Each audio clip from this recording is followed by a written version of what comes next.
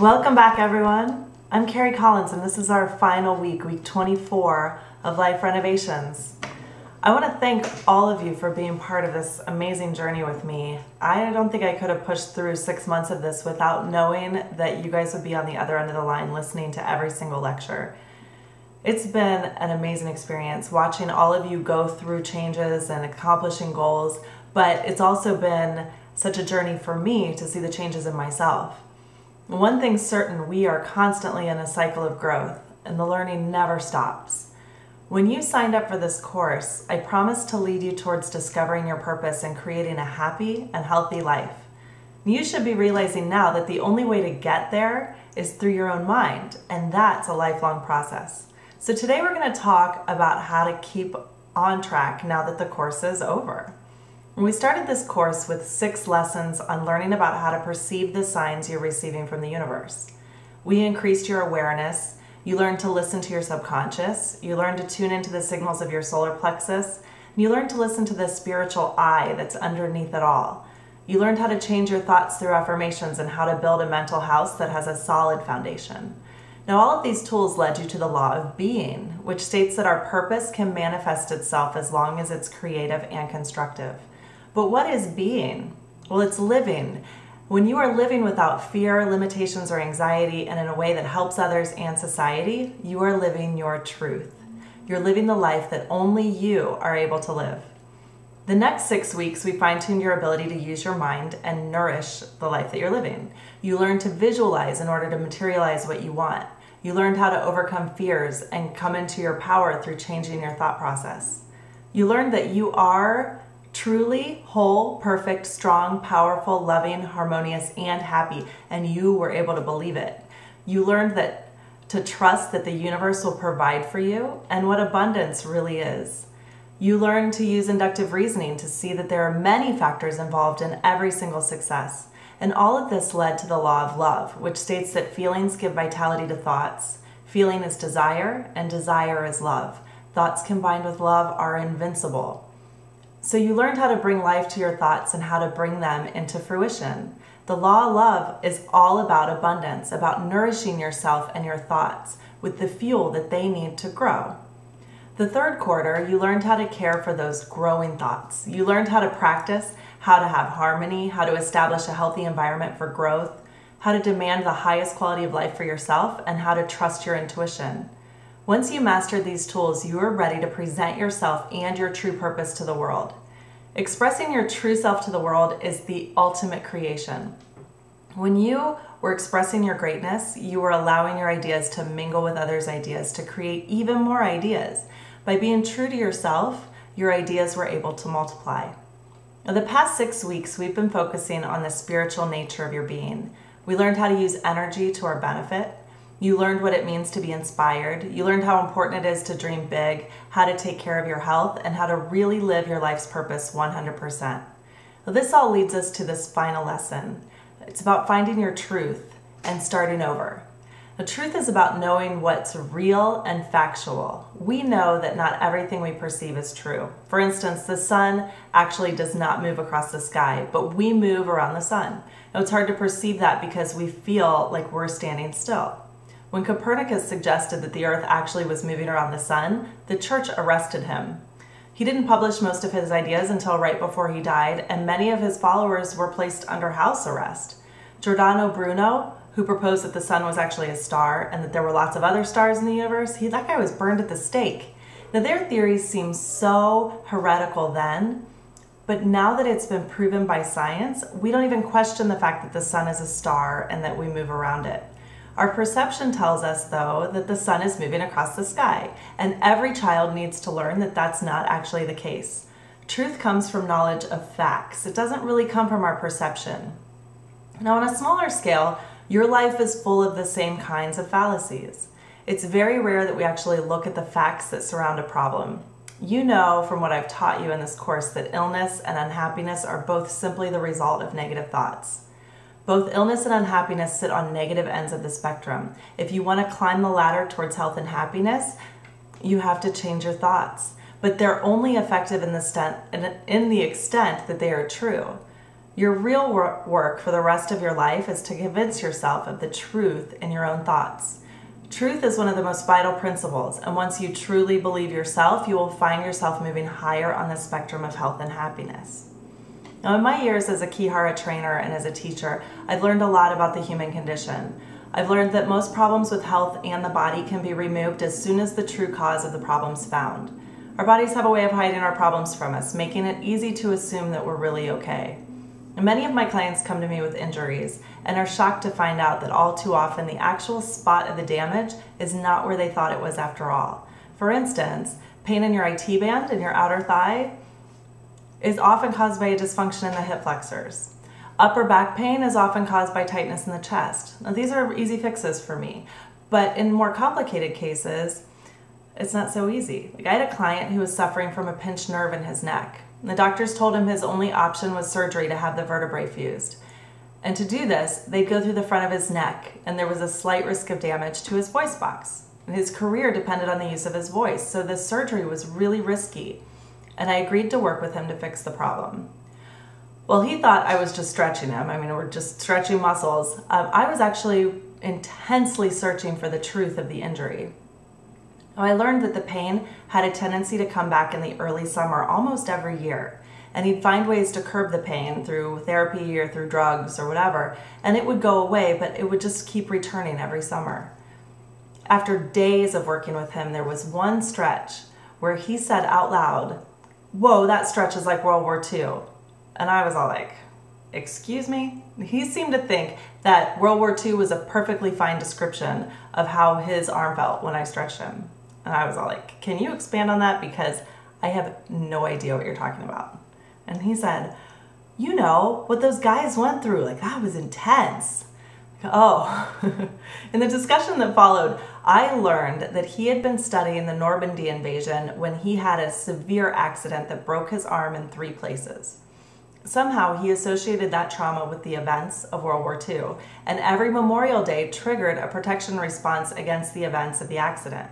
Once I removed the tension from that specific muscle that was holding onto that memory, then the pain was gone. He avoided the surgery, and he hasn't had any problems since. Now, getting to the truth behind the problem is the only way to remove any suffering behind it. All conditions in your life, whether big or small, are simply mental conditions where you fail to see the truth. When you finally do come into the true cause of the problem, then the problem easily removes itself. So, how do we come to the truth if we've become such experts at hiding it? Well, you have to go into the silence. You can visualize the conditions you want, you can argue with yourself to convince yourself of the truth, or you can ask and wait for inspiration. And all three are really good options. Now, the first option, visualization, should be pretty easy for you if you've been practicing your meditations. If you want to lose weight, for instance, you have to be able to see yourself in your mind's eye looking the way you want to be. If you want to be financially secure in love, surrounded by close friends, or having adventures, you have to be able to see it first in vivid detail with focus. Remember, visualization is not daydreaming. You have to concentrate on exactly what you want. During visualization like this, questions and doubts will enter your mind. You have to push them out and believe that you truly deserve the image you've created. You push them out by discovering what's true. Many times people who are overweight decide that they'll never be at a healthy weight because it's too difficult or they don't deserve it. And seeing your vision of a different you, like say with collarbones, you might feel really ridiculous. Like, this is silly. I'm never going to be able to see my collarbones ever again. But if you think about it, like, what's the truth? The truth is, you have collarbones, and two, you have the ability to lose weight. Both are true statements. Now, suddenly you know that the idea of being at a healthy weight isn't really ridiculous. It's actually possible. It's that simple. When thoughts of doubt come up, you must find the truth that will diminish those thoughts. Second, you can argue with yourself. Now, this seems against everything I say about being happy and thinking positive, but one of the best ways to come to an answer is to think of all the possibilities. Like, imagine you're a doctor and someone comes into your office with a headache your mind instantly starts racing through all the things that it could be. Is it a concussion? Is it a tumor? Is it dehydration? Is it an aneurysm? Are they migraines? You have to ask all these questions. And in asking questions and proving each one wrong, you find out what the truth really is. It's kind of like that board game Clue. Remember that game? Every time you enter a room, you have the opportunity to solve the mystery. With each guess, you learn something new that helps you whittle down your choices until you find out that it really was Miss Scarlet with the candlestick in the conservatory. Now, when I'm struggling with a problem, typically one that involves my emotions or relationships with other people, I find that the best way to get to the truth is to argue with myself on paper my journal. I write in my journal the problem I'm facing and then I ask myself, what's true? What do I know is true? And when you come into the truth, you find that often your protective mechanisms turn on and they escalate the issues. When you find out what the truth actually is, you'll oftentimes find that the problem solves itself. Like, for instance, I was dating a guy that I really liked. One night, I ran into him on the street. He was on a date with another girl. I was livid and I got so angry, and I'm sure you can even imagine the things I wrote in my journal. I, just, I was writing, I'm so angry, pretty much like that. But eventually, after pages and pages of this word vomit, I was like, you know what? What's true here? And I realized that we had never actually discussed being in an exclusive relationship. Once I convinced myself of the truth that he actually didn't do anything wrong, I was able to free myself of the anger. Now, I had other things to work out, of course, and I had to continually convince myself of the truth to keep my anger at bay. But through knowing the truth, I was able to release myself of the negativity and to release him of the negativity. Sometimes you just have to ask yourself, what's true? The last option is to wait for inspiration. If you ask and sit in the silence, the solution to your problem will come to you. Now, I find that this works best for me when I'm struggling with an idea that I can't seem to figure out, like in writing these lectures, for instance. Sometimes I just need to go for a walk or sit down at the piano or really just sit quietly, and suddenly I'll know exactly what I need to say. Now, when you're silent, you're calming your conscious mind and you're calming your subconscious mind, and you're allowing your spiritual self, your I, to come through. Remember that your spirit is connected to the entire universal mind, right? It's omniscient. It has access to all knowledge. It's so super intelligent.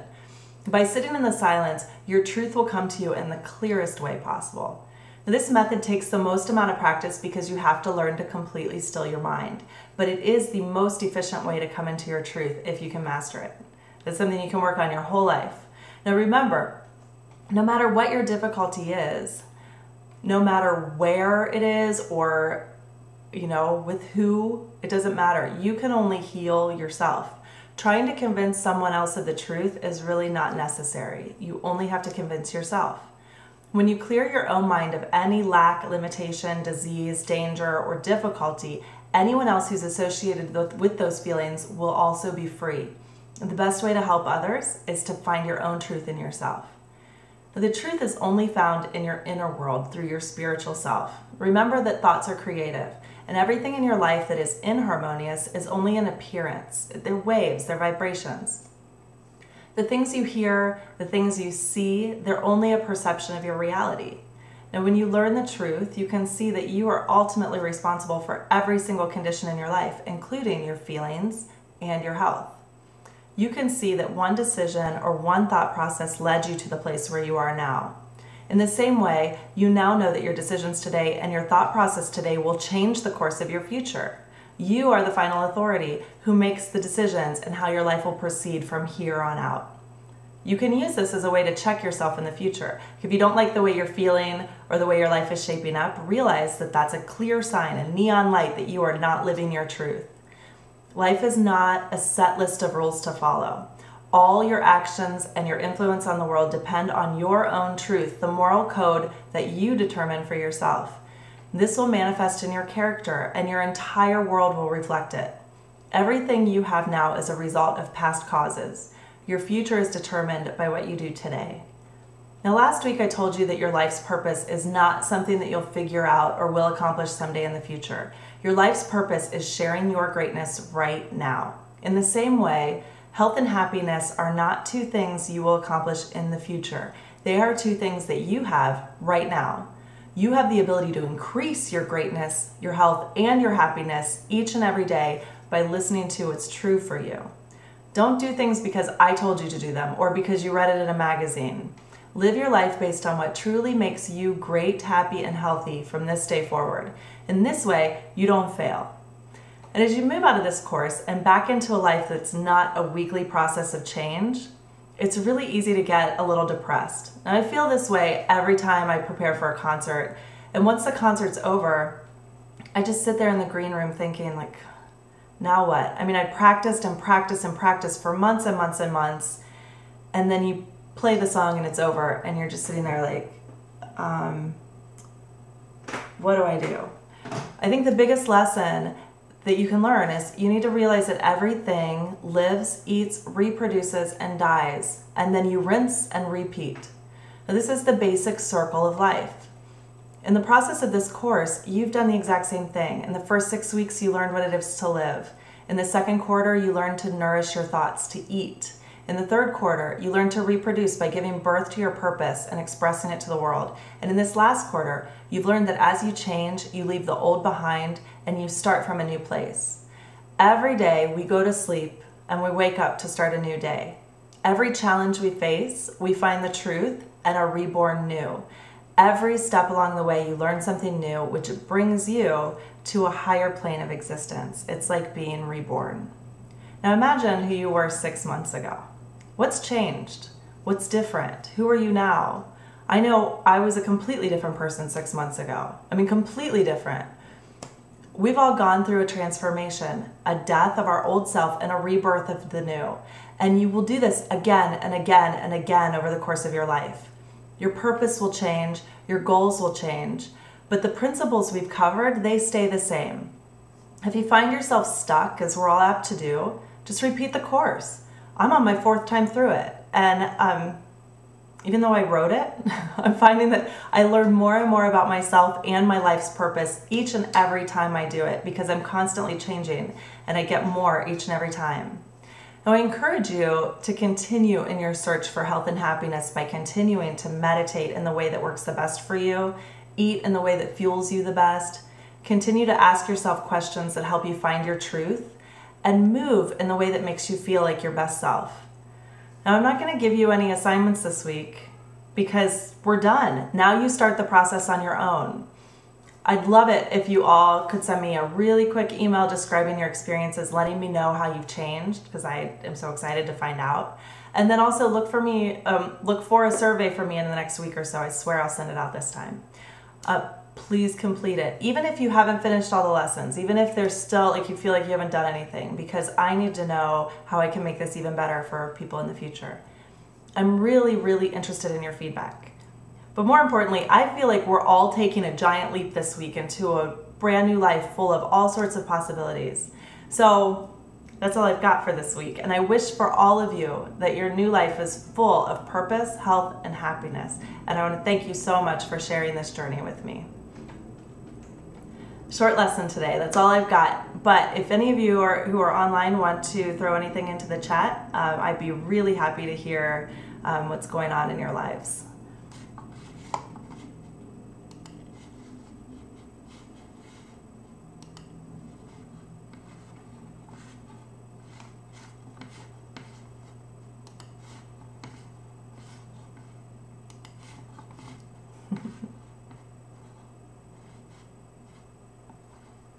Nothing this week. I do, I mean, I would love to hear um, some of the changes that you've made.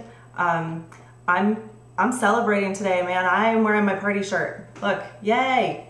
It's a party. We made it to week 24. We made it through six months. And whether you finished all the process or whether you did anything, it doesn't matter. But I think um, it'd be really cool to share for those of you who are online today what kind of changes have come up. I mean, when you consider where you were in April what kind of things have happened?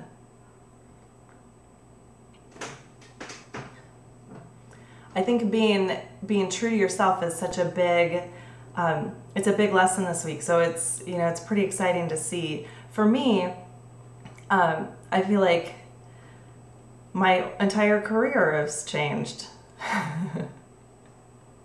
We've got one comment that says, "Let's see. I've ditched a jerk and embraced the new and changed my life all over the. That's all I got. All over the place, most likely. I mean, it's been fun to watch you guys too to see what kind of things have happened. I love it. I think it's um, it's quite a process. Quite a process.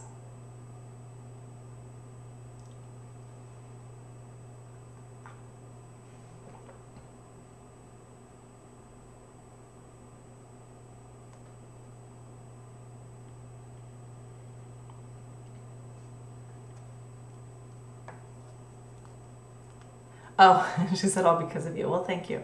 That's awesome. But it wasn't really me. It's um, you made these decisions yourself, which is so awesome. I mean, that's the that's the whole point. I don't like I said, like I don't want you guys to do anything because I told you to, but um, because you come into your own. And I think that's that's a struggle that we all have through our entire lives. And so this this week is um, you know this lesson about finding your truth. It's it's really important to know that um, that you really do. You have a you have a purpose. Michelle says I'm filled with purpose, which is fantastic. That's the best thing to be filled with, I think. I'd rather be filled with that than, you know, nothing. I don't even know what you would be filled with if you weren't filled with purpose anymore. But it's very, very exciting.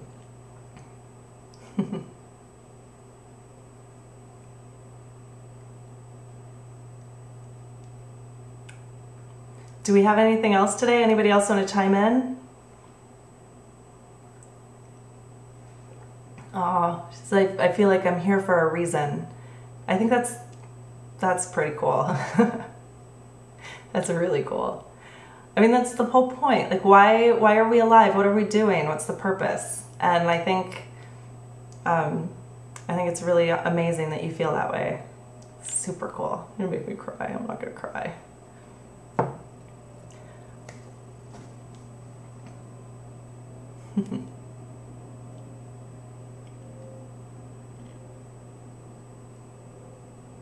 All right. Anybody else want to chime in? You guys being shy?